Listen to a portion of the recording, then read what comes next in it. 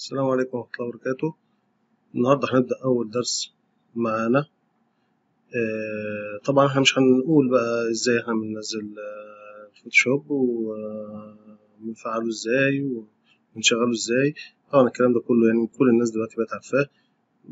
مش عايزين نتطرق ليه يعني. آه، الفوتوشوب آه، تقدر تنزله تشتريه من الموقع نفسه. تمام؟ آه بعد كده هو إحنا أول ما هنبدأ نشتغل هنفتح الفوتوشوب هتكون ظاهرة لنا ال- ال window ديت. تمام؟ وبعد كده هيبدأ قدامنا البرنامج يشتغل. ديت ال interface بتاعت الفوتوشوب. تمام؟ بالشكل اللي إحنا شايفينه ده. فوق هيكون في ال menu bar. تمام؟ قوائم اللي فوق. كويس. القائمة اللي في الجنب ديت بنقول عليها ال tools bar تمام؟ قائمة الأدوات. وزي ما أنتم شايفين كل ما نقف على على ال tools معينة هتبقى الفوتوشوب بيشرح لنا كده نبذة بسيطة جدا عن ال tools دي بتعمل إيه شكلها. طبعا بنفس الشكل اللي إحنا شايفينه ده. آه، القائمة اللي على اليمين ديت وهي قائمة فيها panels بنستخدمها في حاجات كتير فيها ال colors فيها طبعا أهم حاجة ال layers هنعرفها بعد كده. وفيها الفونتات والخصائص بتاعت الفونتات آه، الكتابات كلها يعني. آه، في بعد كده آه، الزرار اللي فوق خالص ده على اليمين.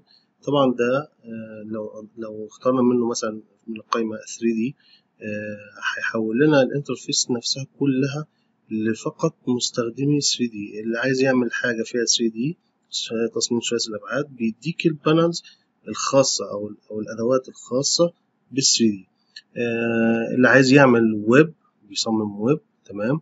بيديه الخصائص وال panels الخاصة فقط بالويب عشان يقدر يسهل عليه استخدام البرنامج. آه، برضو ال- اللي عايز ال motion الحاجات اللي فيها تحريك الصور ال- الكلام ده ضاف لنا تحت خالص آه، حاجة اسمها timeline تمام؟ ودي هنشرحها بعد كده. إزاي إحنا نقدر نصدر بعد كده نقدر نعمل بعد كده آه، تصميم يكون متحرك ونصدره بصيغة الفيديو أيا كان صيغة الفيديو إيه أو حتى نصدره بصيغة ال GIF اللي هي الصور المتحركة تمام؟ وديت حاجة آه، يعني كويسة جدا ومش كتير بيستخدموها في في الفوتوشوب يعني. ولكن هي فعلا حاجة ممتازة جدا جدا يعني. آه، في برضو حاجة تانية إحنا عايزين نتكلم عليها. ال painting الناس اللي بترسم تمام؟ بتعمل digital painting برضو بيديها ال panels والخصائص بتاعتها وجميع القوائم اللي تخص ال- ال- الرسم تمام؟ والتلوين آه، زي ال brush الفرش زي آه، الألوان وال layers طبعا ديت ثابتة معانا في حاجات كتير جدا يعني. في حاجة تانية اللي هي الفوتوغرافي ديت اللي هي خاصة بالمصورين برضو حطيت لهم ال- ال- الخصائص الخاصة بيهم هما والخاصة بهم- بالمصورين. آه، نرجع للأول اختيار وهو ده اللي بيبقى ال default بتاعه وبيظهر لنا بالشكل ده. تمام؟ في برضه حاجة عايز أقولها لكم المرة دي اللي هي ال- من قائمة edit هنزل على ال preferences وهختار ال interface.